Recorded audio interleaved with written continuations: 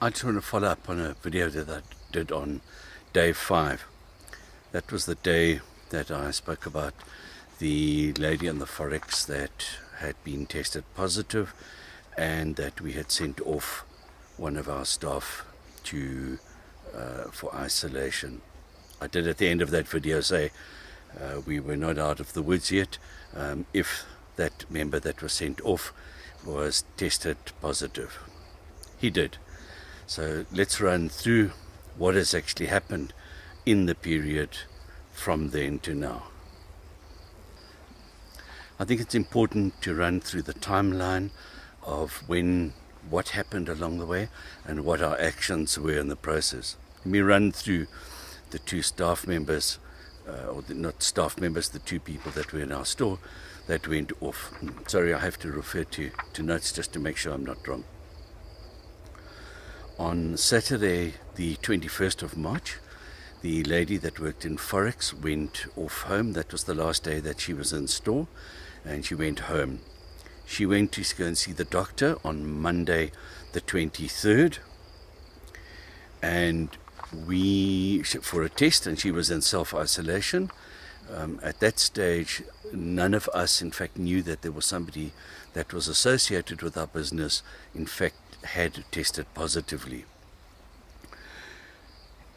On Saturday, the 28th, we received notification that she had uh, tested positive, and at that stage, we did not know that she'd been in contact with any of our staff or direct what what we call close contact with any of our staff. So when I made the video, I in fact did not know about the individual that now tested positive.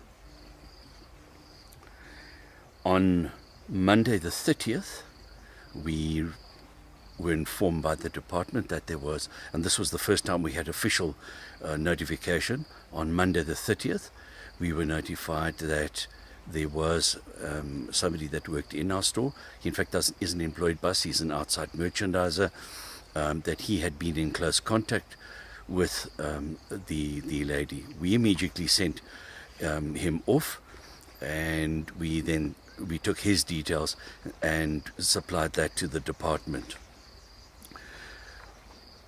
One of our uh, store managers has been phoning um, the young man every day to find out how he is. Uh, we he's he's been fine up until yesterday. Yesterday he received the results uh, that he was he was positive.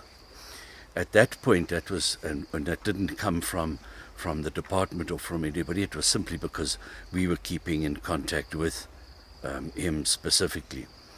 We then um, got the names of the individuals that he had been in close contact with, and I'll explain close contact a little bit later. I'll actually read out the exact description of close contact, not casual contact. Um, and we, it, it transpires that, or from the information that we've gleaned from him, that there are six individuals that have been in close contact with him.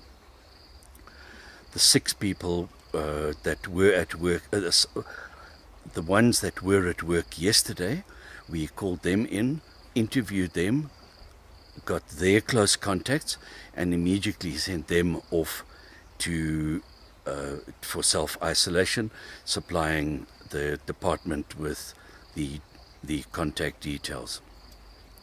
The next step is that the people that have been in contact with somebody that's been positive, the, the, the close contacts, you then interview the close contacts and find out who they've been in contact with. Now that's the last tier.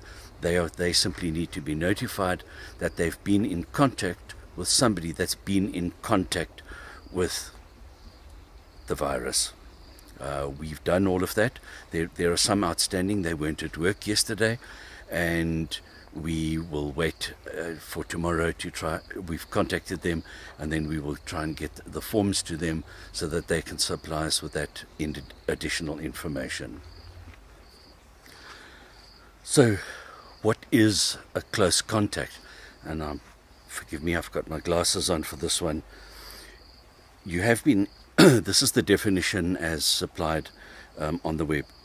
We have you have been in close contact with someone who has confirmed coronavirus, but you do not have any symptoms yourself. Close contact means that you had face to face contact within one meter or were in, in a close space for more than 15 minutes with a person with COVID 19. This contact happened while the person with COVID 19 was still infectious. And they give the example from two days before to 14 days after their symptoms begin. So that is close contact. Any other contact is classed as being casual contact. So we concentrate on the individuals that have had that kind of contact. So close contact within a meter for a sustained period of time or been in, in, in, in contact for 15 minutes. And that's where you interview the, the staff member and you get the names of the people that they have given. Um, those we have got. Once you've got those names, the people that they have been in contact with, again have to supply the people that they have been in close contact. So you're basically one step ahead. All of that we have done as of yesterday afternoon already. So I think important that I cover some of the things that we've done in the store to to mitigate the spread of, of COVID-19. Um, just some of the, the, the big items that, that I've been posting over the period. Uh, the day after lockdown on Friday, we had installed our sneeze guards um, had gone up in that in the morning so between cashiers and customers we were really protecting the, uh, the the public and our own staff generally there wouldn't be close contact the one meter contact from uh, customers except at, at the checkouts. That was our riskiest area. We also instituted, uh, obviously, the, the sanitizing at the front door, sanitizing of the checkout after every transaction, um, sanitizing of hands whilst um, after every transaction. So that was what we were we were uh, doing there. We instituted social distancing. We closed the the seating area of our uh, canteen in addition to that, we attempted with our queuing outside the store, as difficult as what it was, was to attempt to get the uh, the customers uh, to queue one meter apart. It, it was difficult initially. Uh, we we did get it right. Um, later on, that we in fact got the enti entire queue to be uh, spaced a meter apart. We actually made marks on the floor on the on the pavement outside, and the, and the customers were in fact standing a meter apart.